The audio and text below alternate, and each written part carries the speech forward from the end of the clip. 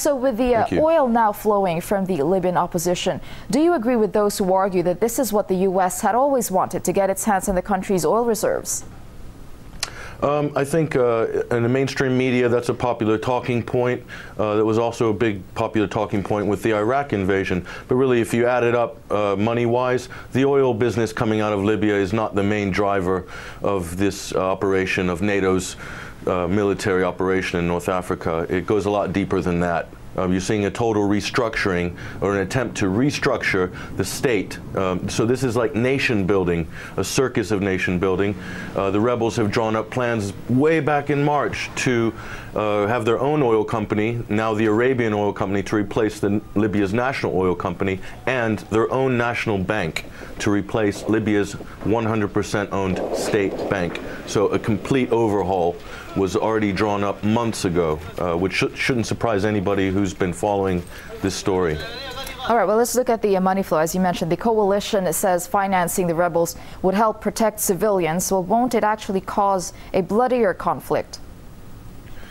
Financing rebels. You know, what, what's happening here is the UN is actively involved in uh, a civil war, and they're using NATO as their sort of uh, private security force.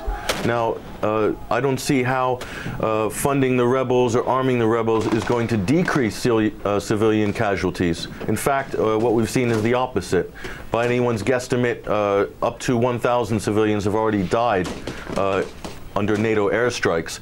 So you're talking about thousands of sorties have already been flown and thousands of cruise missiles have been fired. there is going to be a lot of collateral damage. Obviously, the Western countries and the Allied forces have not learned their lessons from Iraq and Afghanistan, where the collateral damage uh, has been massive. And you can't even count the amount of uh, civilians who have died in Iraq over the last eight years. Okay, now let's talk about more, more about the opposition. The U.S. sees the uh, Transitional National Council in Libya as a legitimate authority. So they buy their oil, supports them with money, and fights their war. But why does Washington stop short of officially recognizing the Libyan opposition? Well, there's going to be a big shift. I mean, we, we predict that uh, in the next month or two, uh, Congress is going to completely uh, go the other way with regards to the U.S. involvement uh, with the NATO operation in Libya. Okay, already one third of the House Republicans have voted out of this op NATO operation. Uh, so they, they don't want the U.S. involved. Now, there are political reasons for that, and uh, obviously the Democrats are in power in Washington, so they're now the, the war administration of the day. But obviously, uh, the same thing, uh, the tables were turned uh, five years ago with Iraq. But that said, uh, this is not a very popular stance, uh, this nation building. Uh, and, you know, in, in a few years, this is really going to come out as an illegal war. You know, the UN has absolutely no legal mandate. Uh, it doesn't jibe with the Geneva Conventions. They're actively funding, arming, providing logistical support on the ground, boots on the ground already in military advisors from the UK, from France, from Italy, and also Cynthia McKinney, congressman from, from the US, reported that the Israelis also have military advisors in Benghazi and that was reported two weeks ago. So it's it's a total circus, a nation-building circus. All right, just very quickly now, let's talk about the uh, assets of the Gaddafi family. They could have billions of dollars of funds hidden in secret bank accounts if the reports are true. Now, what do you think should happen to this money? Well, I think we're getting a little bit ahead of ourselves. I mean, they're already talking about freezing the assets of Gaddafi. Well, I think a bigger question is, and your, your viewers should also look into this, and anybody, is that the Libyan National Bank has one of the highest per capita gold reserves of any state bank in the world.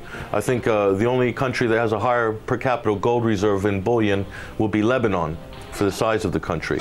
So you know, what Gaddafi might have stuffed away in a Swiss bank account uh, or a collection of Swiss bank accounts is minuscule compared to the state assets in terms of gold and oil that Libya possesses. And this has really been the game all along. You know, it's, it's about converting this state, this nation, into a more privatized uh, more globalist, uh, to come under the globalist umbrella.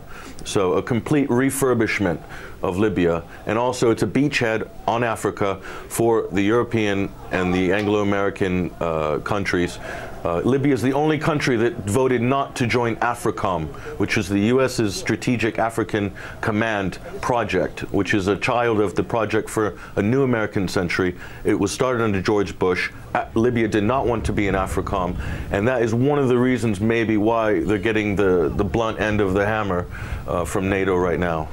All right. Well, thank you very much for your insight. Writer and filmmaker Patrick Henningsen talking to us from London. Thank you.